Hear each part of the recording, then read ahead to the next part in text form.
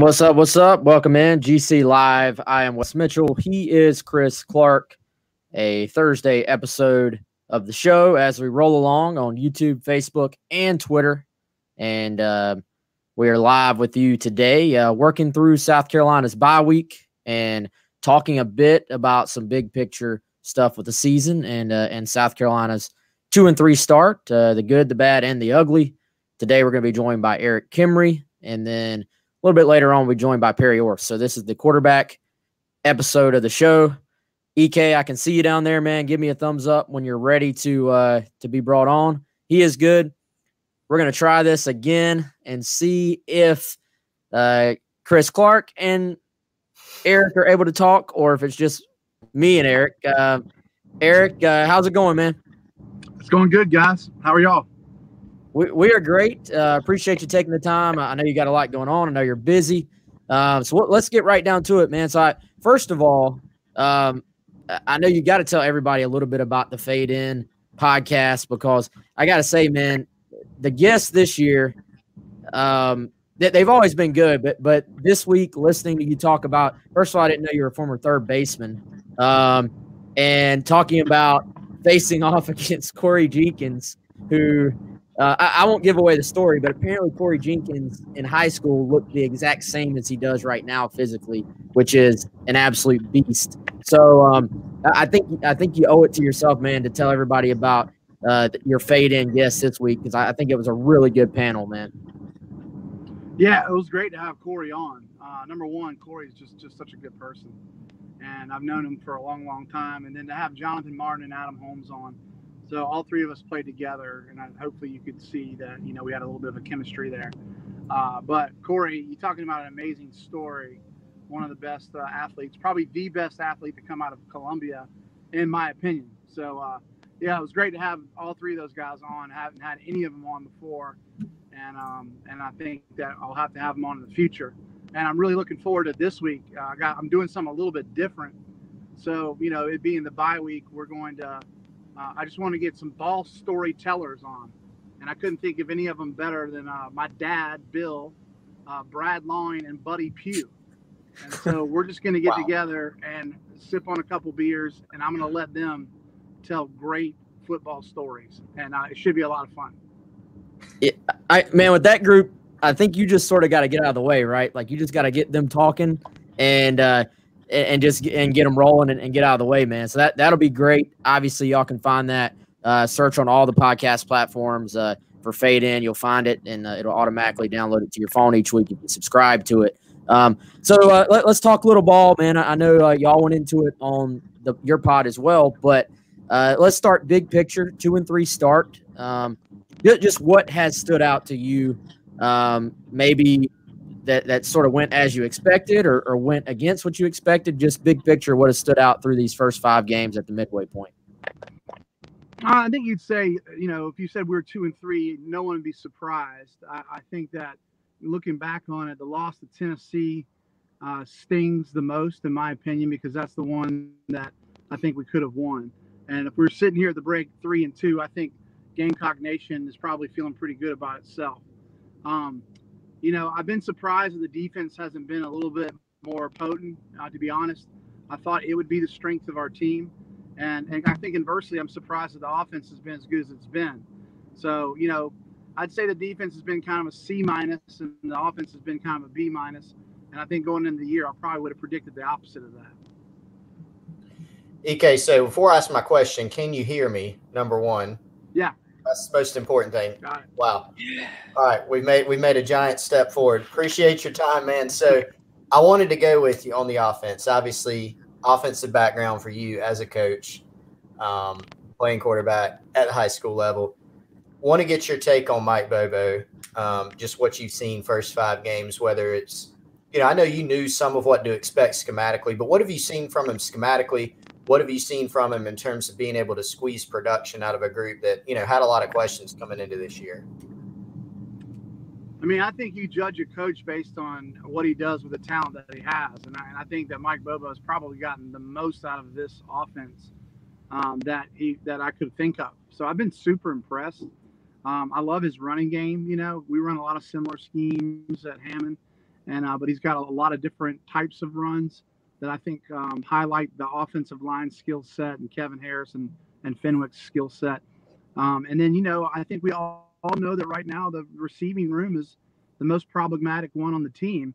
And if you look at what he's done to to kind of uh, combat that, you got Shi Smith, who's the one guy that's getting a lot of production, but your next three leading receivers are your two running backs and your tight end. And, and that's just the mark of a good coach. He's like, okay, this, these are the guys we got to get the ball to. And he does that and he does it well.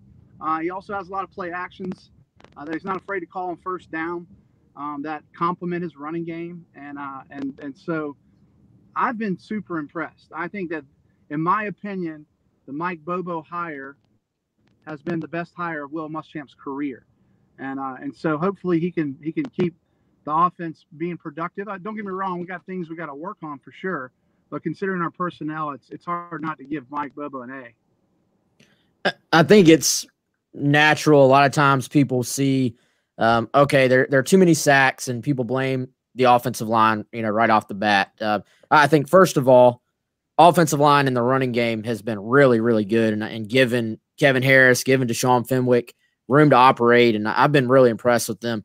Uh, Pass Pro has, I mean, there there have been some some times where maybe it leaves a little bit to desire, but from what you've seen out of pass protection, how much of it has been just O line getting beat? How much of it is maybe uh, quarterback needs to get it out a little bit quicker? I know sometimes it's a, a running back doesn't pick up somebody that's a that's a free rusher or something like that. So it, it's never really it seems like one thing when it comes to pass protection. So just big picture, what have you seen uh, from the pass protection that you both like and, and you think maybe needs to improve? Yeah, I mean, I think the run game has been has been the strength of the offensive line. Uh, overall, the pass pro has been it's been good. It has been great. There's been breakdowns at times. Usually, that's an individual breakdown. But guys, it's the SEC. You know, you're facing the best defensive lineman in the cosmos, other than the NFL, right? So it's hard, and it's going to happen sometimes. And sometimes you get behind the sticks, and teams can kind of tee off a little bit on you, and uh, it makes it even harder. I think they're getting better. I think the pass pro is actually getting better. I, I, know we had some sacks against LSU. I'd put more of those on. Um, oh, I'd put the majority of those on either Collin or the receivers. And people forget sometimes that there's you know there's coverage sacks or maybe a receiver ran a wrong route, which I think we heard happen this past week, or the quarterback just got to get rid of the ball. And you also don't have a guy that's, you know, going to extend plays with his athleticism. You know, no offense to Collin, that's not his skill set. And so a, a, lot of times a really good athletic quarterback can make an offensive line look better than they are. So, um, you know, I think the offensive line's been steady this year, been, been, been good, better than good. And uh, I look forward to them having an even better back half of the season quarterback, since you mentioned Collin Hill, that, that's another area I want to get your take on with, you know, since the first half of the season here, just assessing quarterback play. We, we all sort of knew the book on Collin coming in. Like you said, mobility is not going to be his strong suit. And for the most part, I think we've seen a lot of what we thought play out, right? We've seen managing the offense, getting them into the right run look. So, in your mind, from what you've seen for South Carolina, in your mind as a coach, your perspective, you know, how do you balance hey, should should they be pushing the ball downfield more, even if it's the, at the expense of making more mistakes? Um, do you play somebody else who's a little bit more mobile, get Doty in more for his legs? Um, just what is your take on how Collins played overall, and then sort of those trade offs that you make? How important each of those aspects are with getting into the right run looks versus what you see in the pass game. Mm-hmm. Yeah, I mean, listen. First and foremost, if you can't do it up top mentally, you can't play quarterback. And if you can't throw the ball accurately, you play, you can't play quarterback. So I love I know that everybody like the sexy thing to do is to say, oh, but the guy runs a four three, let's put him in the game. Well, if he throws it to the other team or he doesn't know what he's doing, it doesn't matter. Okay. Um, and so I think that you got to start with a guy that understands the offense, that can get you out of bad plays and throws the ball accurately. Collins done that for the most part. I think he's been really steady. You know, we know we kind of know who he is if he's got to pull the ball down, you know, good things don't happen for the most part. He's not going to be able to a guy that relies on extending the plays. He's going to have to be a distributor of the football, and that's who he is. And and I think if somebody was in position to give us a better chance to score more points, you would see them on the field. And I think right now Collin Hill is the guy um, that that gives us the best chance to move the football. And so you know, there's he's had his plays here and there, but for the most part, I think he's been pretty steady. we uh we, we talked to Perry and we're going to play that interview a little bit later on, and we sort of talked about that fine line when you know you're in the middle of a play and there's that snap decision. Um, am I releasing this football? Am I going to just take the sack? Am I going to try to get out of here? And how you know it, it's very easy after the fact to pause the screen and say, "Well, that guy, that guy was open." and maybe he wasn't even open in the split second that the quarterback had to actually make you know the decision so how how mm-hmm. fine is that line between making the decision of is it worth it to try to put the ball in this window or not and i don't know you, you know I, I don't know if you can like even appreciate probably how quick that decision has to take place uh, yeah. because 99% of us have never actually done it yeah you're talking about you know you're you're you're using you know your brain to process information and some type of quick vision or, or really a, a photograph in your head. I always look at it like a strobe light. You get a quick flash and then it's darkness and a quick flash, and you've got to make a decision based on that really, really quickly. And, uh, and so I think the guys that can process that quicker probably make decisions faster. And but but then what do you do when that breaks down a little bit? Well, that just kind of depends on who you are. And I think for for Collin, he's probably looking to the next check down, and then maybe you know, lastly, I'm gonna try to throw the ball away or pull it down. A guy like Bo Nix, you know, that internal clock lasts about a second and a half, and he's gonna pull it down. That's probably what he's done his whole life. Uh, and so it depends on your offense on which one helps you more.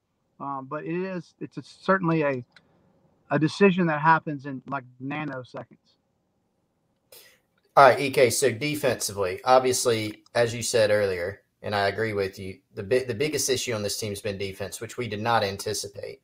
Mm-hmm. What's been the biggest problem? In my mind, it's been the inability to stop the run, especially on early downs. It's gotten USC behind the sticks. Up until LSU, they were pretty good on third. They were really good on third down somehow. And I think the the run game issues really manifested themselves even more in the LSU game what's been the biggest issue? If it is the run, why? And can it get better? Yeah, I mean, it better get better, or you know, you're not gonna have anybody looking at your website anymore. So, no, I, yeah, I've been disappointed in the run defense for sure, and I, I do think that it's been particularly on uh, first down defense as a whole, to where we're either in really kind of softer man-free coverage, or we're giving up seven yards, eight yard clip runs to where you know offenses are able to play ahead of the sticks. And so uh, I didn't anticipate our defense struggling the way that they have. I think we we've got to do something to be more disruptive up front to create some penetration, whether it be in the run game or the pass game to get pressure on quarterbacks, to try to get people into second and longs or maybe third and longs to where now you can pin your ears back a little bit and go, go get the quarterback and get, apply pressure even with a four man rush because on third and 10, you know they're probably going to throw the ball. Um, but yeah, we just we have not been able to do that. We've got we got whipped up front against LSU. I'll just give LSU credit. They had a big offensive line that was better than I thought they were going to be, and sometimes they just kind of manhandled us. But we got to find some ways to disrupt. Maybe take some chances on first and second down. Bring some blitzes or some stunts uh, that you, you may may catch you, but you may catch them too. And so I, would love to see us, you know, take take some more chances. All right, so we, we are at the midway point. Uh, final thing I sort of have here. Um, what are your expectations for these final five games? I mean, I look at it, it's going to be similar in that you're going to go into all these games and say if, if Carolina plays well, they'll have a chance to win in the fourth quarter. And if they make a bunch of mistakes like they did, you know, this past Saturday, they could they could get whipped. So, um, what's sort of your expectation for these final five, and what needs to happen um, for Carolina moving forward? Yeah, I mean, I'm kind of with you there, Wes. I really don't know what to expect. I, I thought thought we had some momentum after the Auburn game, and I thought we saw this defense was going to start to come into its own, and that just wasn't the case. Um, and so I, I, think you're going to get more of the same right now. Uh, but the question for this team and for this coaching staff is going to be, where do they go from here? You know, last year you beat Georgia in Georgia, and you have some of that momentum I'm talking about, and then you know you lose to Florida. Uh, you gave them a fight for a little while, then you lose to them and then really the wheels came off. You know, a lot of guys started getting hurt, and then you know you get all this negative momentum, and we found ourselves in a pretty bad place. Let's make sure that doesn't happen, right? And the best way to do that is to win some games and, and win a few in a row. And I think if they can do that, they could, you know, have a really positive second half of the season. Um, and so that Texas A&M game is pretty critical to me, uh, even if you don't win it, but you're competitive. And I think though, if Texas A&M comes into Columbia and wipes the floor with the Gamecocks, you could have some really negative momentum that could translate into some of these other games, which are even, you know, maybe more winnable.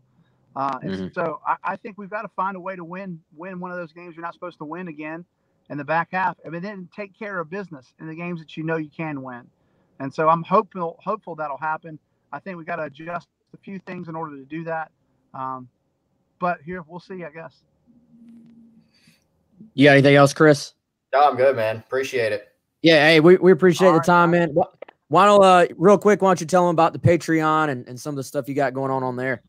Yeah, um, started a Patreon site and I, I got some extra content from Fade In, and um, so got some great stories from Corey Jenkins this past week about playing in the big leagues against Pedro Martinez and Randy Johnson.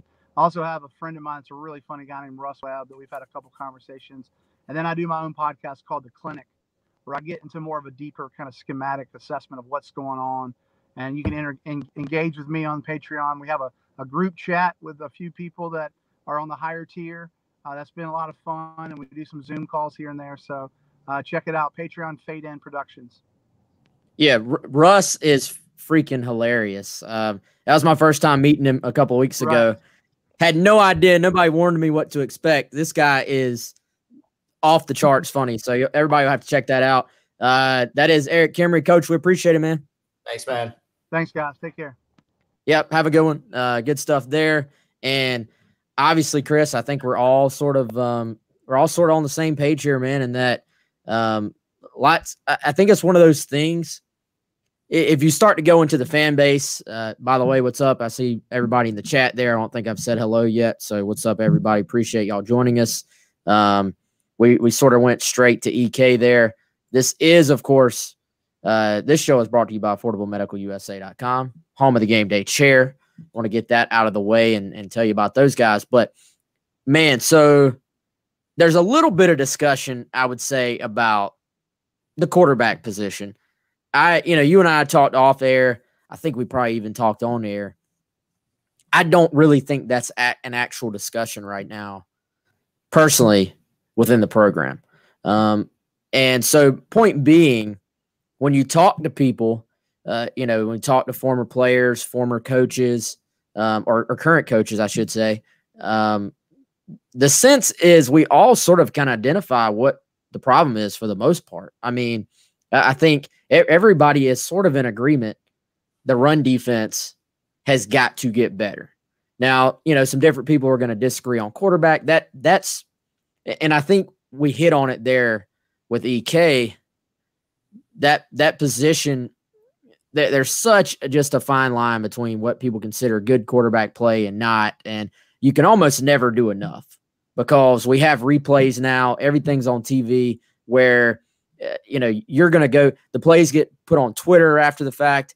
Uh, people pause it and they, you know, oh, you, you didn't make that split second decision to throw to that guy. So quarterback play will always be discussed. But for the most part, if you look at this team and the issues, we're all sort of in agreement that the defense, particularly the run defense, but I'll just say the defense in general ha- has got to be better. Yeah, I, I, mean, I think that's what the biggest issues stem from, right? Is is defensively, especially when you view it through the lens of like what was expected and what was needed going into this season. You know, we we knew coming into this year, new offensive coordinator Mike Bobo, and we knew that barring some huge surprise it wouldn't be the offense that would carry this team or that would need to carry this team. The, the, hope for South Carolina offensively needed to be that they could run the ball better, and they have. It's looked different than we've thought, right? You know, but that they needed to run the ball well. They needed to be able to stay on the field more. They needed to be more consistently productive. And we knew they'd have big problems at receiver, you know, eh, that'd be a question. But for the most part, as EK agreed, Mike Bobo's been a bright spot and he's squeezed out enough for this team to put forth winning efforts for the most part. It's been the defense. We also knew going in, hey, the defense is going to have to be good. We we all thought, or speaking for myself, and I know you, I think you agree, Wes. You know, the defense had to be the strength of this team. It has not been. It has been the biggest letdown and the biggest issues that are easy to identify. Not stopping the run, too many explosive plays, and uh, and that's been the bottom line. Sometimes they've, you know, they, they've been there, but they aren't as noticeable because of who you're playing, like Vanderbilt. Sometimes they've been there, or they get sort of um, countered by mistakes. Auburn. Sometimes they've only been there at times on a certain drive against Tennessee, and then sometimes they've been there the whole game. LSU, you know. So um, th- those are the things that you know. I, I, I do think there are some deficiencies on the team that we knew. You know that you felt like maybe they could mask. I do feel like they've got better players than what has shown so far.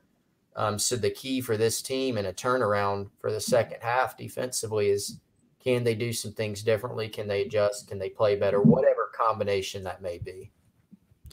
Um, had a question on here by Craig, one of our loyal uh, listeners and watchers. Said he heard on the radio this morning uh, someone say the quarterback competition wasn't even really that close with Hilinski and Hill. Is that what y'all have heard as well?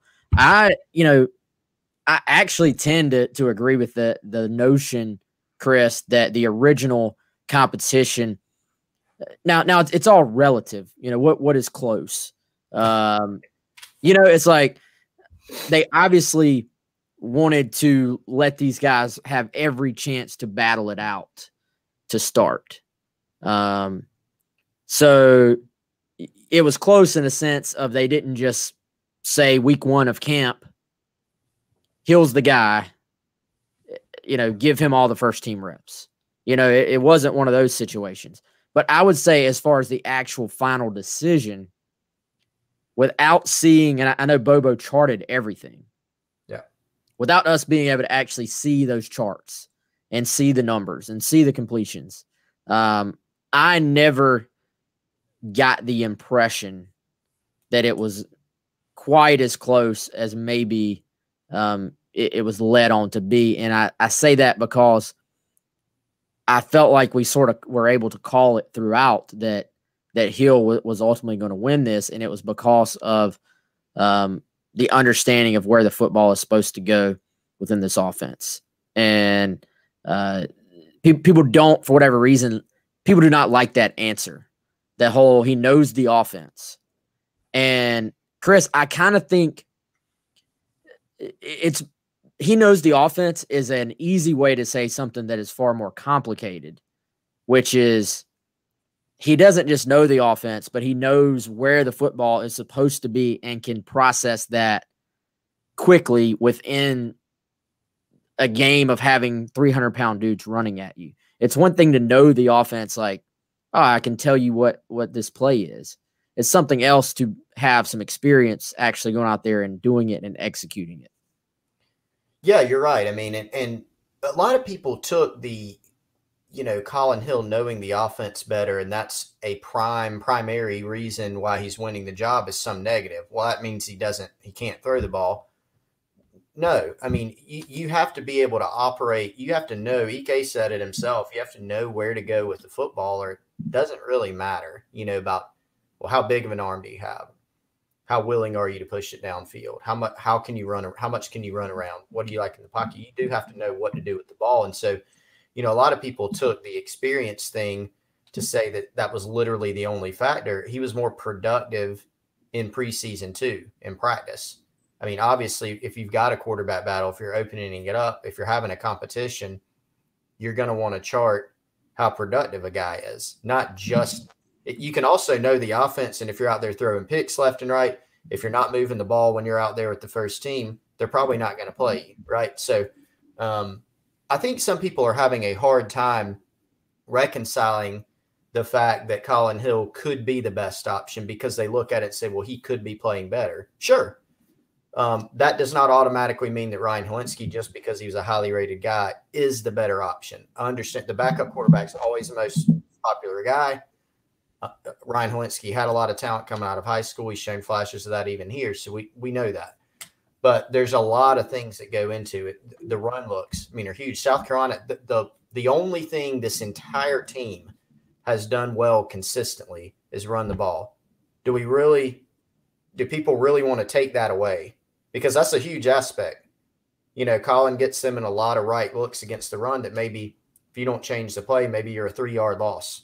You know, I mean, I don't know how many, what percentage wise those are, but, um, you know, it's certainly a part of it. And I think, you know, I understand people wanting to push the ball down the field more. We, we knew it'd be an issue with this team, no matter who was playing quarterback, really.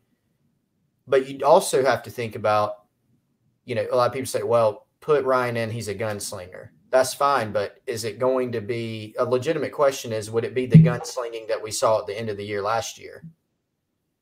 That didn't work out too well, did it? I mean, and, and they still got receiver problems. I'm not saying it would, but it's a legitimate question, right? Well, everybody wants a gunslinger until they throw an interception by gunslinging, and then everybody turns on the gunslinger as well. So everybody in in yeah. Yeah. everybody in theory likes the idea, um, but there, there's a constant battle between should I throw this football or not? You know, is that window is that window big enough for me to throw the football? So, um, all right, we're we're gonna go to Perry Orth here shortly. And but I do want to hit this question first, and then we'll talk about the game day chair. Um, Tyrion Ingram Dawkins making his announcement tomorrow. Uh, we'll of course um, continue to update everybody on Gamecock Central on that. We're continuing to, um, I would say, gather information because the information on these, even if the even if the decision is made, one thing we've learned from following recruiting for a long, long time is that the information can change leading into uh, a big decision like this. What people are getting told, you know, can can change. I I think safe to say Georgia and South Carolina are the two uh, major contenders here. Um, whether it ends up being Georgia or South Carolina, Chris, you had an update. Uh, was that yesterday or the day before? Um, not sure on our insiders forum the day it had to be at least the day before, but the days are going by so fast that it could have been like three weeks ago for all I know. Yeah, it runs together. We will continue to update people on the Insider Forum. Um, where where's your feel right now, man? And, and we will. I will say that. Um, I don't think we're gonna lock in anything right now. I mean, I I, I put in I put in my prediction for South Carolina and Ingram Dawkins. I mean, like maybe in January. I mean, it, has been like a long time ago, and I have not changed it because I always thought he was a South Carolina guy. Like I just had a feeling um, that's where he would ultimately end up. But uh, Georgia's done an excellent job recruiting him. There's no doubt about that. Uh, good good relationships over there. As Russ said, Georgia is gaining smoke. That, that's absolutely true. I mean, you if if you follow just the the internet buzz right now, you'd probably say Georgia if you're just following it from that like that perspective. But what we try to do is dig a little bit deeper because the internet buzz does not always equal where somebody actually commits to. Sometimes it does. Um, but Tyrion Ingram Dawkins is a guy who has really, I would say, at one point or another, has been a lean to at least three of these schools, being South Carolina, Georgia, and Tennessee, Chris been very difficult to tell. I, I think that is the thing that we know right now is because Tennessee made a change on the defensive line in the midst of the season, second D line coaching change they've had in less than a year, you know, since in this calendar year, rather, um, that pushed them back. And so Georgia and South Carolina. Now, I'll also say this behind the scenes, man, you know this, there's some very legitimate reasons to feel like either school could get him. And this happens sometimes. You know, sometimes we even hear very specifically what was said, who it was said to, when it was said, and it makes it hard, you know. And so that from there, it's sorting out what's real, what's not.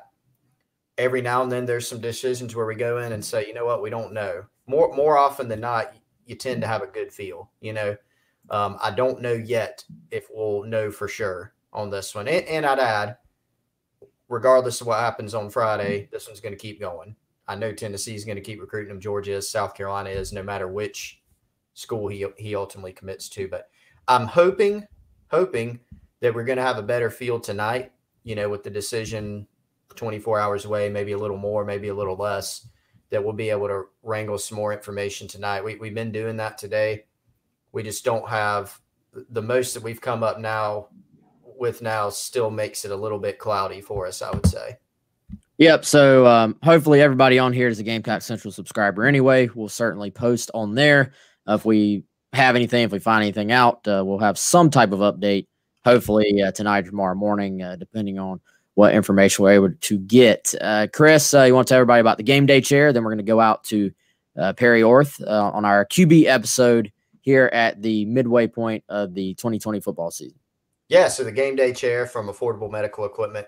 Make sure you check those guys out. AffordableMedicalUSA.com. They got a nifty little search bar. Check out the Maxi Comfort Cloud with Twilight. That is the technical name for the game day chair. Um, we're actually working on an even easier way to get you links and a, and a and a website to get there. But check out the link in the YouTube video description. Go to GamecockCentral.com. You can find the link there, or you can search for it directly on the site, or pick up the phone, call 803 926 1493. Ask them about the game day chair. Um, super comfortable, roomy, multiple different positions, TV watching, lounge, Twilight, which is the lay flat zero gravity at the push of a button. Super comfortable recliner that you can watch all your sports, Netflix, whatever you want. And so make sure you check those guys out. And those guys make this show possible, which is uh, frankly awesome for us. So uh, and for you. I hope you. I hope you feel that way. Um, all right, so we're gonna go out now. Perry Orth, as y'all know by now, it's a little bit clunky how I have to bring in. This interview was from like an hour ago, so still fresh. A little bit clunky how I have to bring in the outside interviews, but I promise the audio. I think will work the first time around. This time, unlike last time. But um, here is former Gamecock quarterback Perry Orth uh, talking similar stuff to, to what EK was talking about, but some good stuff, I think, from Perry. So we'll go to that right now.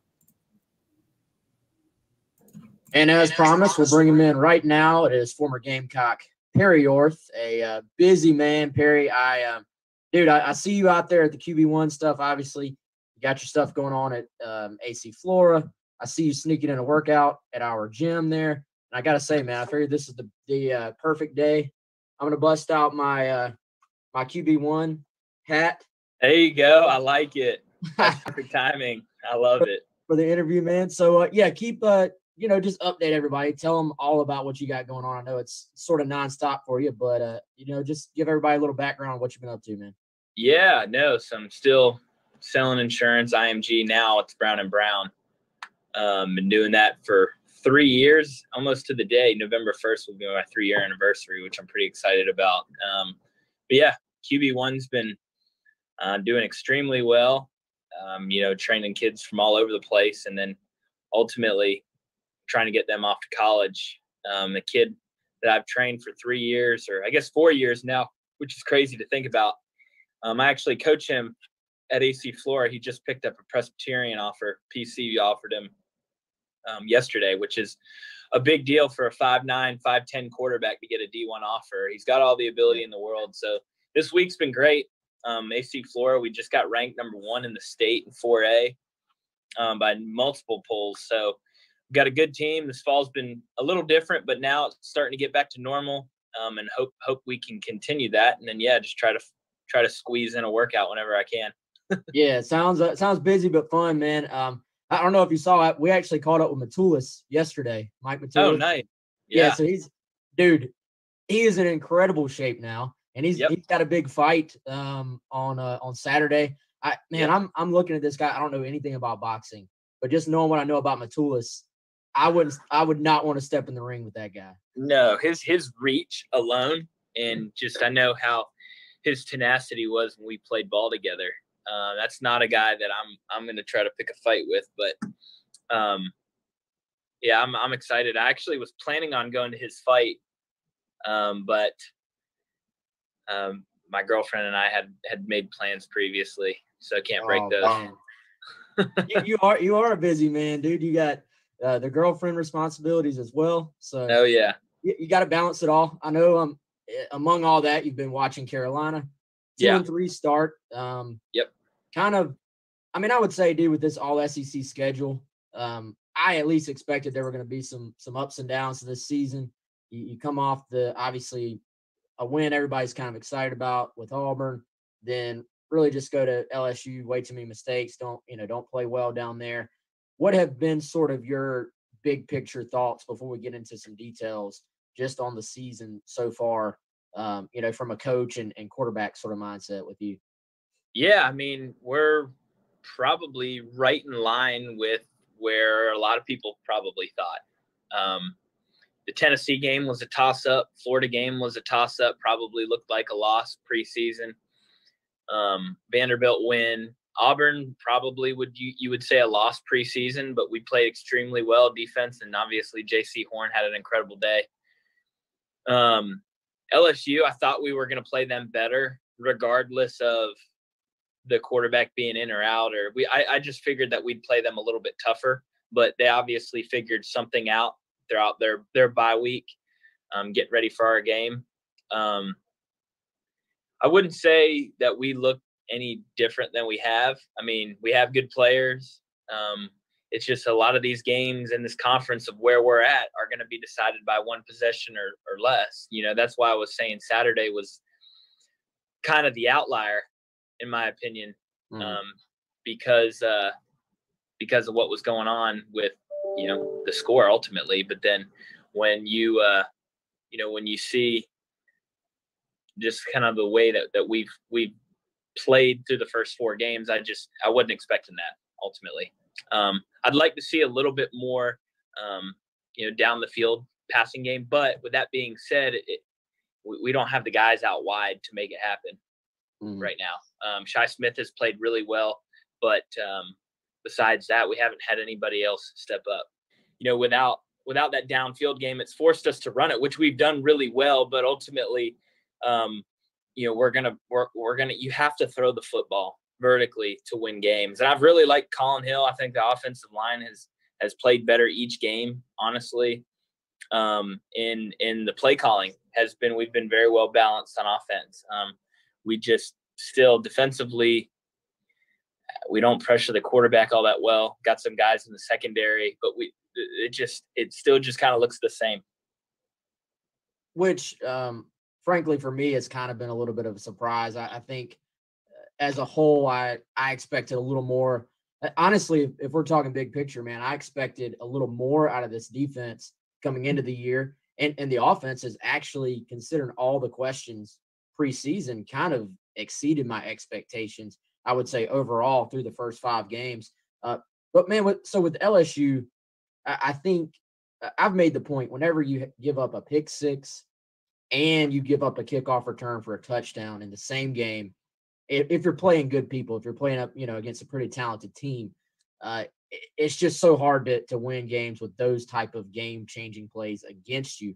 But yeah, you know, from from a perspective of play calling and playing the quarterback position, um, how hard is it to win a game when you're sort of, I mean, after the kickoff return for touchdown, you're down three scores. You're starting to get to that point where you're at the midway point of the third quarter, and you're a run first team, it sort of completely takes you out of what you do well. I feel like.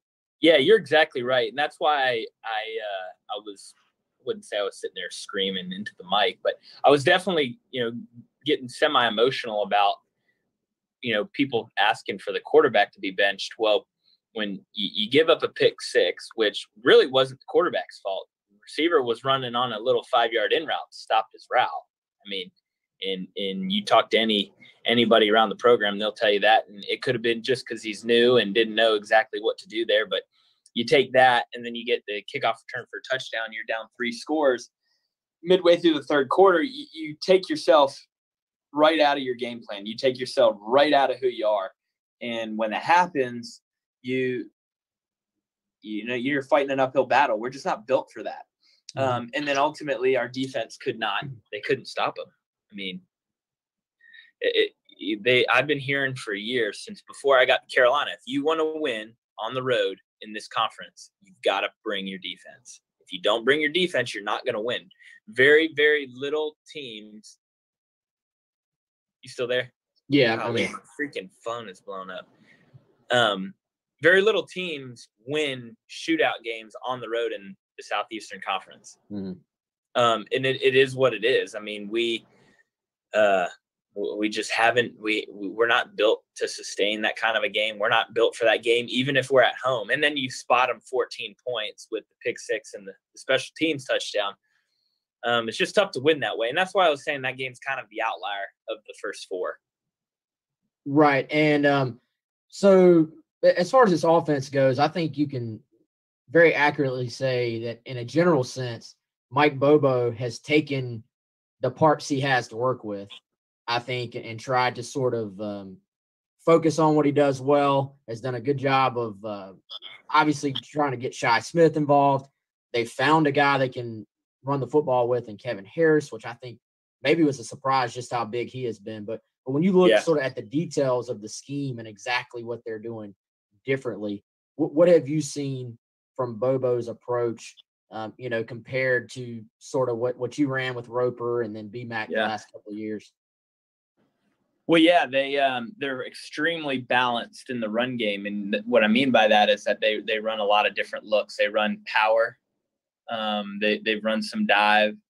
Uh, they have a fullback every once in a while. Um, a few toss sweeps. We haven't seen that in a long time. Um, so there's a lot of different things they do. I think our offensive line run blocks really well. Um, and then Kevin Harris, he he doesn't go down on the first tackle on the first defender. So um, all in all, I mean the run game's been great and efficient you know, efficiency wise through the past game, we've been okay. Hasn't been bad. Um, you know, we had our case of the drops against Florida, but besides that, we really haven't, um, you know, really haven't seen too much more out of the receivers. You know, look at the Vanderbilt game, um, and we ran the ball all over them, and, we didn't really have to push the push the ball vertically on them. Um, same thing versus Auburn. We got three turnovers in that game. I think all of them on the plus side of the field. Um, you look at that, not really having to to to to stretch defenses when you do that. LSU is a little different because we had to fight uphill battle, but you know, with the the secondary that LSU has and the talent they have, and our talent at receiver, you know, if they are locking up man to man or playing really good zone defense, you know, you you look at the game and say, well, Collin Hill held on to the ball too long. Well, Probably, but you know where the guys covered, what was going on downfield. Quarterbacks are going to miss reads and miss guys open all the time during the course of the game. Receivers, I can't tell you how many times I've watched football. Receivers will be streaking down the field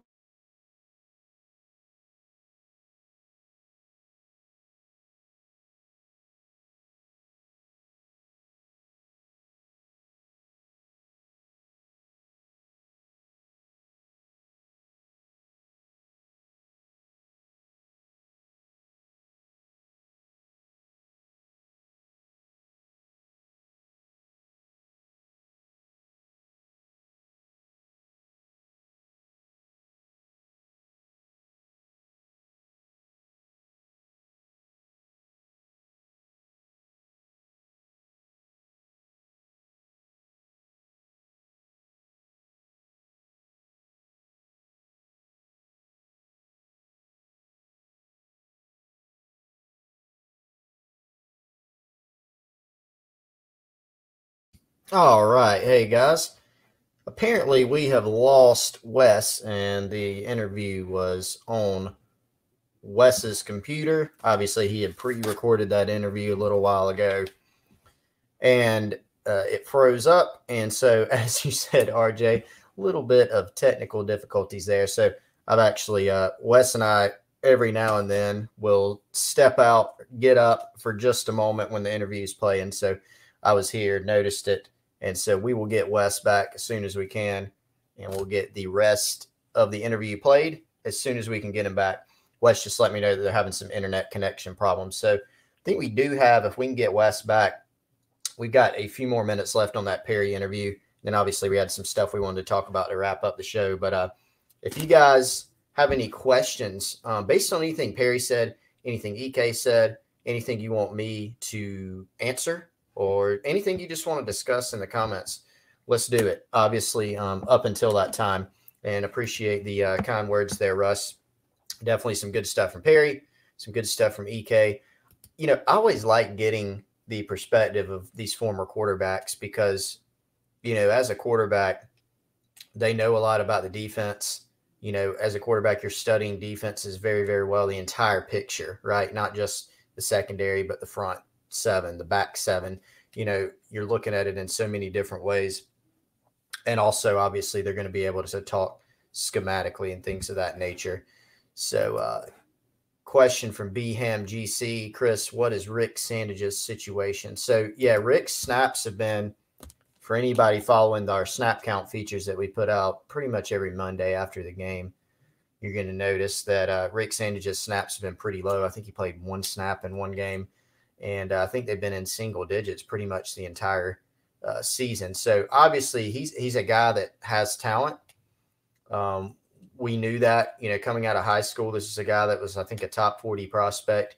He's shown some flashes, showed some flashes in high school. He showed some flashes from the early time tenure of his career at South Carolina. But I think the issue there is the word that we talk about a lot, um, and that is consistency. Word of the offseason, like Wes has said, or word of the season, too, since we've got into it. Um, and I know it's it's been very difficult, I think, for people to look at it and say, what's one of the biggest issues on this defense? It has been the defensive line, right? It's been stopping the run. Why isn't Rick Sandidge in his junior year, um, who's a big guy, who has talent, who is highly regarded, why is he not playing more? And that can be difficult to sort of reconcile in the mind about why he's not playing, but um, he's not been as consistent, you know, in his performance. A lot of it, you know, you got to you got to look at what's happening in practice. So he still does have talent. I wouldn't give up on it either this season or for the future. Uh, but he's got to get more consistent. Um, he's got to be better because he does have talent. Wes, are we back? the receivers, you're looking at Yes, I think we are. I added you without your permission, but I, I didn't know if there was something on on your end to where you were like locked out or something. No, I'm I'm in. This is weird. We just did the flip on the screen yeah, again. again. Yeah, I'm in control. Uh, yeah, you have. Uh, you're the captain now. i guess. Um, all right, yeah, my internet. I don't know if it's this wind or or what happened, but my internet completely went out. Uh, which luckily, I'm actually impressed. Uh, it cut off the interview, but the stream kept going. I, I guess uh, uh, that's cool. Let's see, it's two forty nine. I can yeah. put y'all. Y'all want to hear the rest of the Perry interview? Um, and then I, I'll put it. I'll actually post.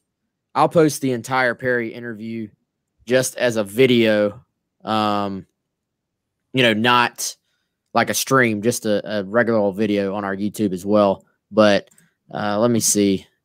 Wes, can, while you're doing while you're queuing that up, can I hit a couple of these questions real quick because I wanted to make sure. yeah, yeah, hit um. I tell you what, you hit the questions and then you can lead you can lead right into the Perry video and I'll uh, whenever you give me a cue I'll I'll hit play on it. Yeah, sounds good. So a couple things. Number one, I'm gonna do them in reverse order. Allen Hopkins, Mike Bobo is told by Georgia to find a place to go. Colorado State fired him. So how could how good could he be? Well, a couple of things there. Um, I, I don't know for sure that that's true on Mike Bobo in Georgia. Uh, he he got a head coaching job at Colorado State as we know, uh, head coach and coordinators different different role. There are guys who've been uh, subpar coordinators or haven't even been coordinators at all that have gone on to be really great head coaches. There have been guys who have been outstanding as coordinators who have not been good head coaches. And so uh, Mike Bobo's tenure did not work out at Colorado State, but his offenses were good there. He was still in control. Uh, and his offenses at Georgia were obviously very good too. A lot of people at Georgia would love to have him back He's done a good job with what he's had to work with at South Carolina. Uh, he did a good job with his offenses at Colorado State and at Georgia. So the answer is still uh, Allen that he he is still good. He's a very highly regarded coordinator, and he has a really really good track record. If you dig into what his offenses have actually done, he's not the head coach at South Carolina. He's the coordinator, and, and he's got a good track record there. One other thing James Robinson mentioned about the Muschamp article didn't re- address the uh, takeaway anomalies that happened in Muschamp's best year, nine win season. Yeah, that, that was a huge aspect of it, something that uh, we've talked about a lot. You know, I didn't address how anybody got to each point.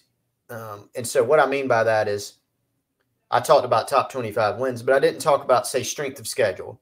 You know, if you have a strength of schedule, say a team plays the hardest strength of schedule in the country and they win eight games, and then say a team plays the 110th hardest schedule in the country and they win 10.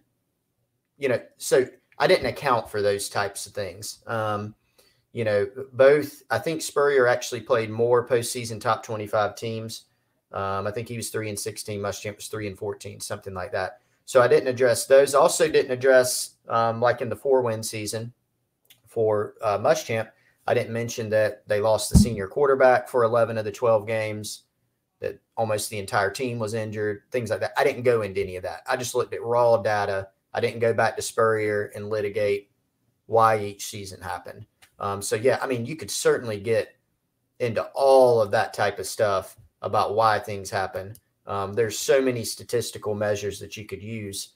Um, and as a lot of people have rightfully pointed out, you know, Steve Spurrier didn't have a losing record at South Carolina at all, unless you count the 2015 year where he walked out midseason or if you um you know and Muschamp's had two uh, you know had a six win season six and seven and then four and eight. But just bringing a couple other um you know statistical little analysis into that story. So yeah we didn't we didn't dive into the how each coach got there or, or why.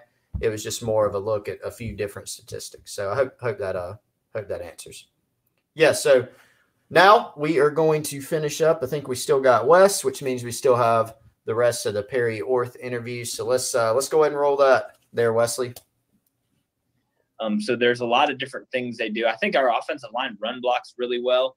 Um, and then Kevin Harris, he he doesn't go down on the first tackle, on the first defender. So um, all in all, I mean, the run game's been great and efficient. You know, efficiency wise through the pass game, we've been okay. Hasn't been bad.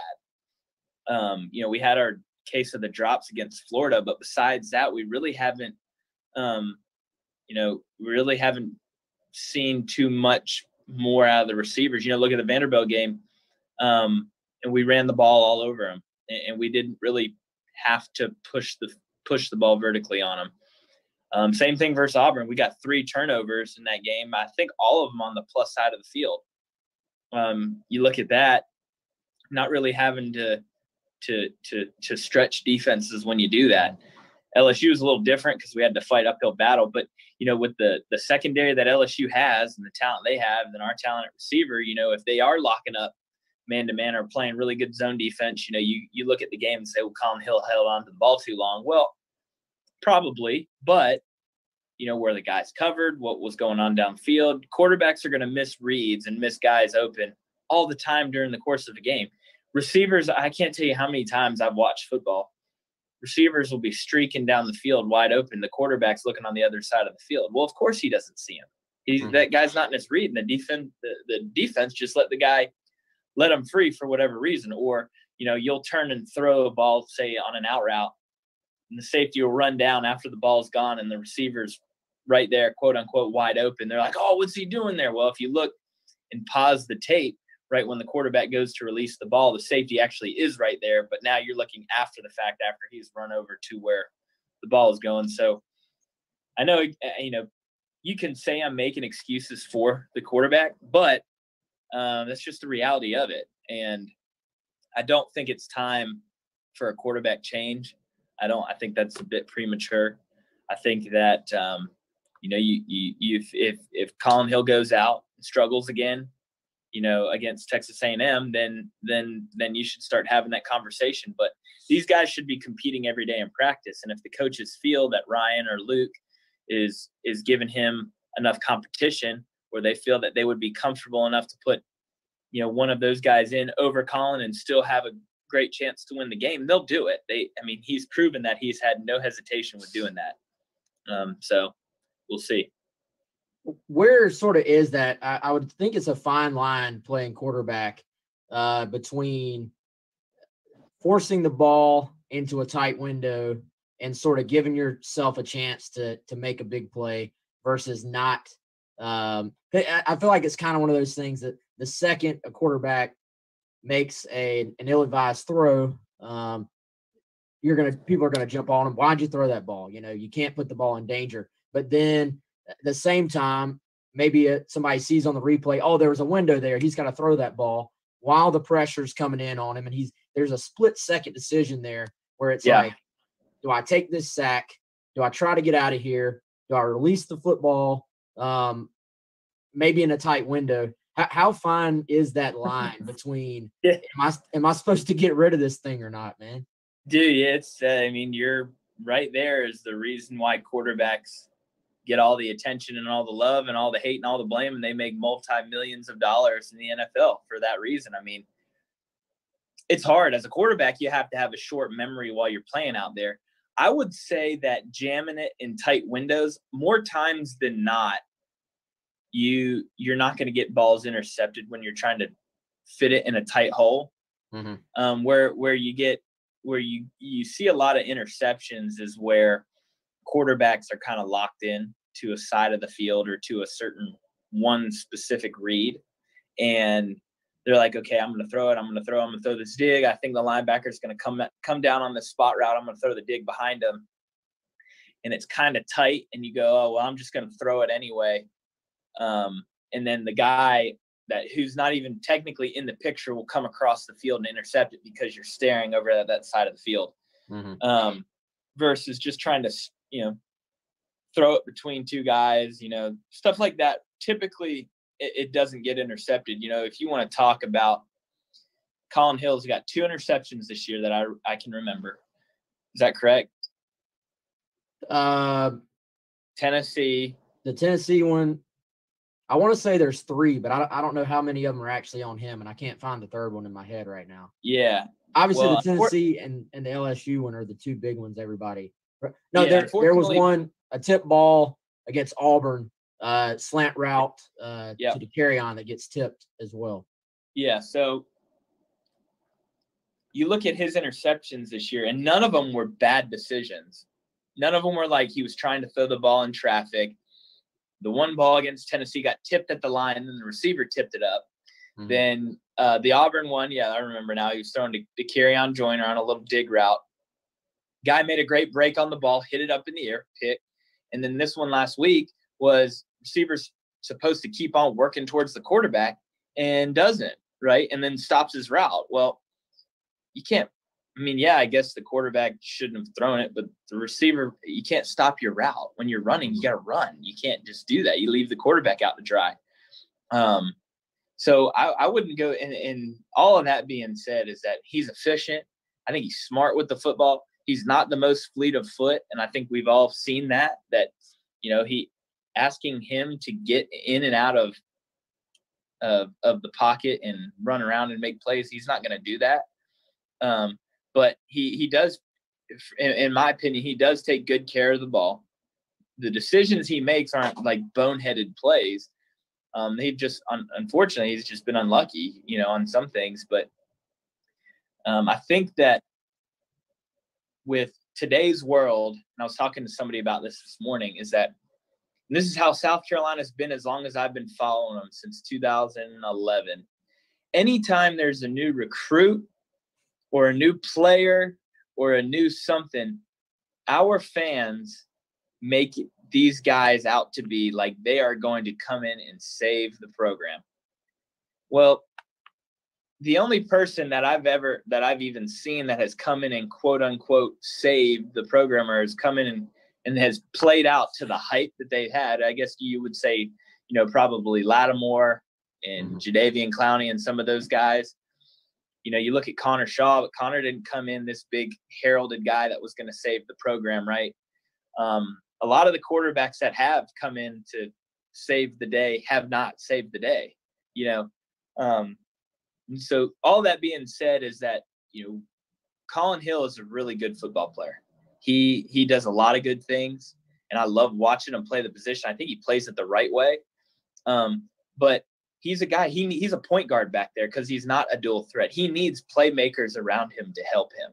Um, and mm-hmm. right now, the reality is we just don't have it. We don't have guys that are going to go out and change the scope of a game besides maybe Shi Smith but you know a 5'10 5'11 slot receiver those those are hard those it's hard to take over a game because now people know that they're keying on you well um it, it, it's you know it can be challenging you know i think moving forward man um bringing along jalen brooks uh, trying to maybe get some of these freshman receivers uh, ready or more comfortable out there um and, and even some of the other tight ends, man, I think getting them involved a little bit. We saw it a little bit with Mullins. Um, they, have got to find some more weapons for him to distribute the ball to. But what uh, you know, final five games, obviously you're kind of at a point, like you said, it's gone for the most part record wise the way everybody expected. So uh, the season could still turn around and be a really good year, or it you know yeah. it could go the way some fans are worried about right now. And um, it's all going to depend on how it actually plays out on the field, man. So what what are your keys moving forward? Um, you know, you can go offense, you can go big picture. I mean, obviously, I think we all know the run defense has got to pick up.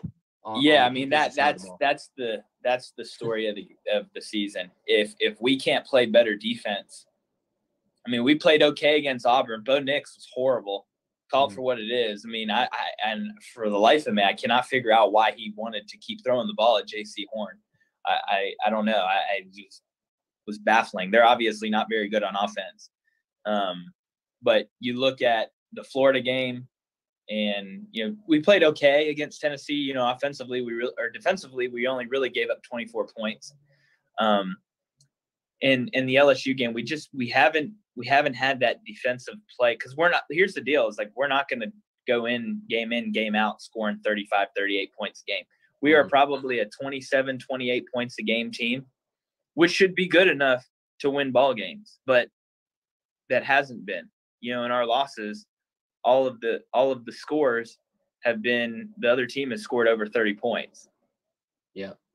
Um, now, granted, the the Tennessee game they got over 30 on the pick six, and that's the other thing is when we turn the ball over, it can't be for touchdowns. You know, the the interception, and it's just unfortunate the way it's played out. And I don't think I've seen, I don't think I've seen in through five games somebody have two interceptions for a touchdown like that, especially ways that they've they've happened. Um, but offensively, we we stick we we can't fall behind because when we're ahead and we stick to our game plan and we run the football, you look at the Auburn game as a great example of that, or the Vanderbilt game, right? A little slow, sluggish, boring start.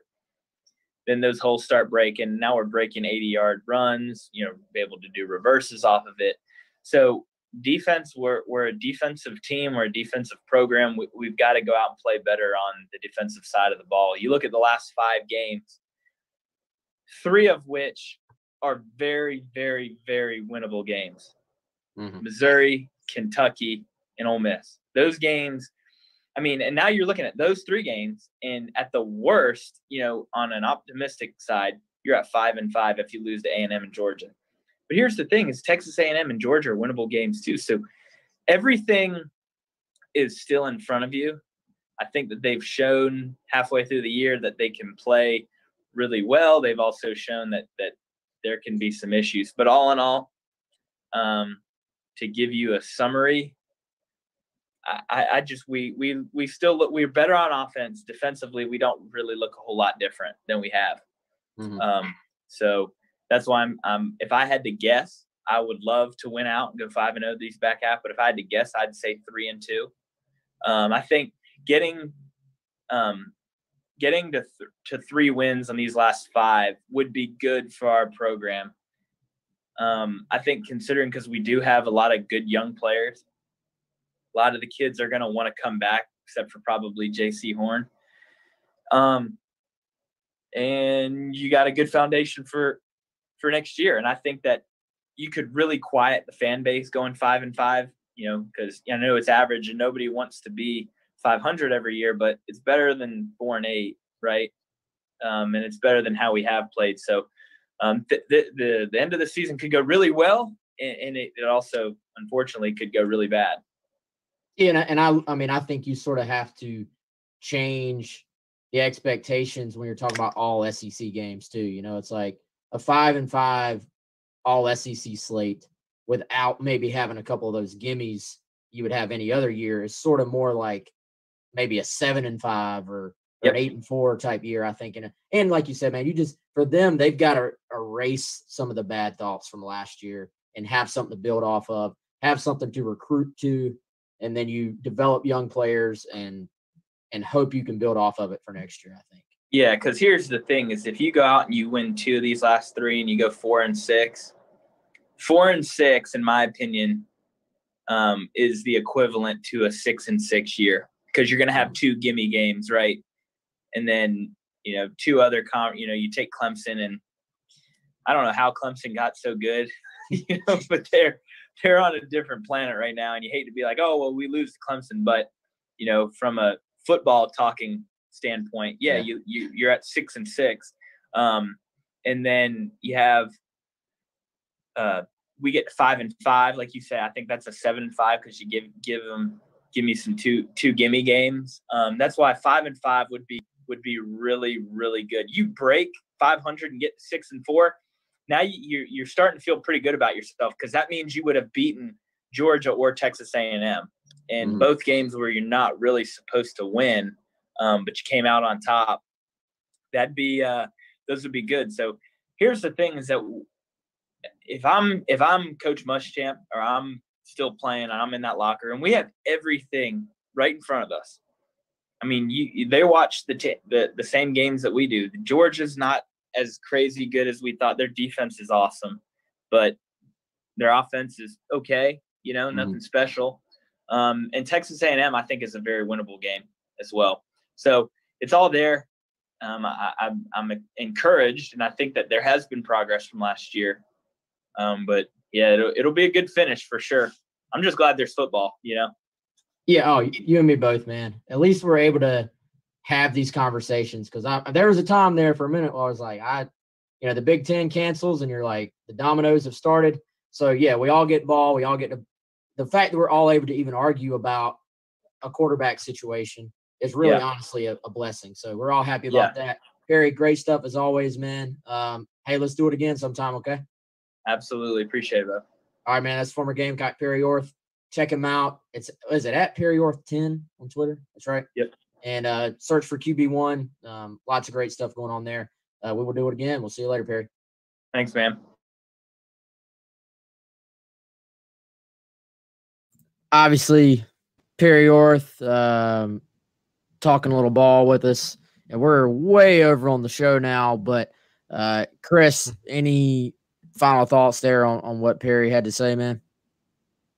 No, good stuff again from Perry. You know, as I said earlier, I, I really like hearing a quarterback's perspective. It's just a little different. I feel like they think a little bit differently because they take such a big picture view to offense and defense, you know. So obviously, lots of questions to answer second half of the season. Perry, you know, laid out a bunch of those and how he sees some of the things going. So it's going to be a very interesting back half of the season, you know, one way or another. And, and thought he had some great uh, observations on, on what we've seen so far and where it could go from here.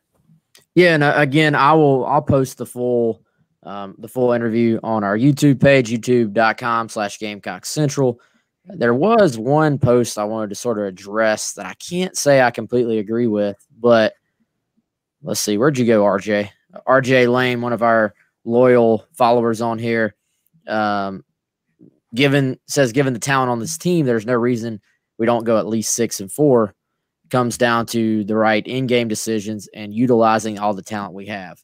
And I, I don't know if I can look uh, objectively and say that that is the expectation because I, I think the the pro- the problem is, yet yes, South Carolina does have talent, and there is a good portion of this final schedule that that is very winnable. But also, if you really dove in, if we all followed a lot of these programs as closely as we follow South Carolina, their fan bases are saying the same thing. There's some talent on this team. Why can't they win? You know, so is there is there more talent on South Carolina's team than there is on LSU's team? Right. No, I, I don't think you can make that argument. Texas A&M. Um, is there more proven talent for South Carolina than there is for Texas A&M? I would say probably not.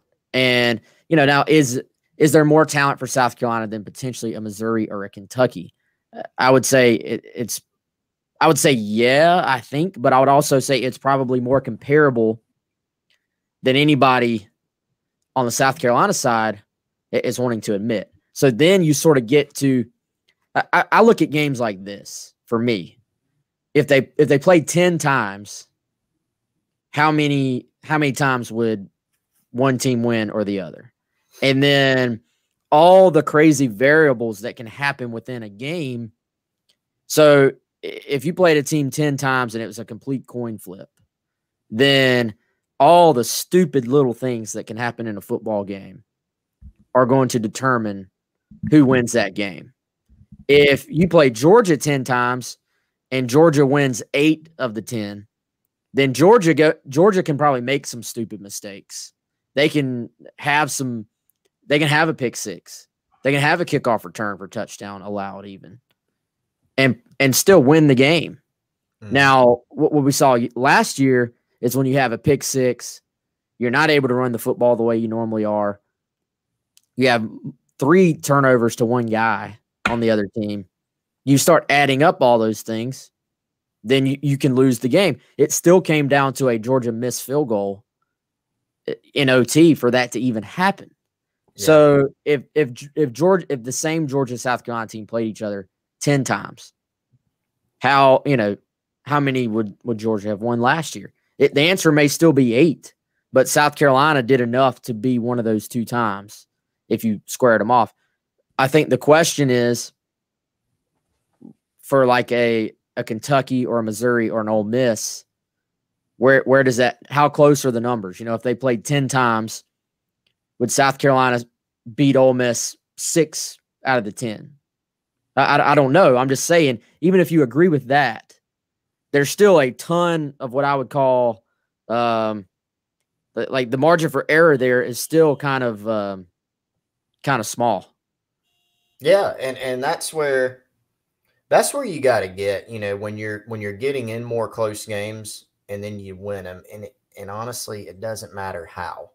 You know, like it doesn't matter if you want to get, you know, yes, turnovers are very unreliable. You can't go into a game and say, well, if we just would have gotten three turnovers, we would have won. That's the case in a lot of games, right? If it's if they if you are in the same stratosphere as a team and you win the turnover margin by three, you're going to win a lot more than you lose. But however you get there, you know, whether your um whether your schedule's a little bit easier that year, whether the other team has a guy out or a bunch of key guys out, whether they turn the ball over to you, you need some of those things to happen a bunch, and then you have to build on them from there, right? And so, and that's one thing we saw last year. South Carolina won that game against Georgia. Was it fluky? Prop? Yeah, it was. Georgia's better football team than South Carolina, but not that day. We also can't sit here and say, well, it doesn't count. They won. They uh, because South Carolina had plenty of chances to make their own mistakes, and they didn't. So they get credit for winning that game, but they didn't go capitalize. You know, so they don't get credit for you know making something more of that game, using it as a springboard. So you got to stack some games, however you get there, and then you got to stack some seasons, and then you got to stack some recruiting classes, and and that's the predicament that they're finding themselves in now. Yep, no doubt. Um, all right, y'all. I think that's going to do it for today. Um, shout out to Chris Banks on Facebook. I think that might be a new name I've seen joining us all the way out from San Diego. Um, I don't know many. I know one person on the planet that lives in San Diego. So don't know many other people out that way. So I, I appreciate you joining us and I appreciate everybody joining us. Um, we may be on at a little bit different time tomorrow. I don't know. We'll post it on Twitter or we may, um, Chris, we may just record it if you want in the morning and then we can still pop it um, in the afternoon potentially. And um, then we'll we'll hop back on. Obviously, next week um, we'll be talking Texas A&M. We'll have a, a guest to talk about uh, you know their program, what they've done. I think they've they've got Arkansas on Saturday, I believe. So I'll be able to tune in and luckily be able to watch that game Saturday and actually focus on it a little bit and maybe have uh, some thoughts on those guys for you on Monday. So all right, y'all. Um, we'll talk soon enjoyed all the discussion. We appreciate uh, Erik Kimrey, appreciate Perry Orth. Good insight as always. Uh, love to hear from QBs, like you said, man. Um, so we will see y'all very, very soon. See y'all.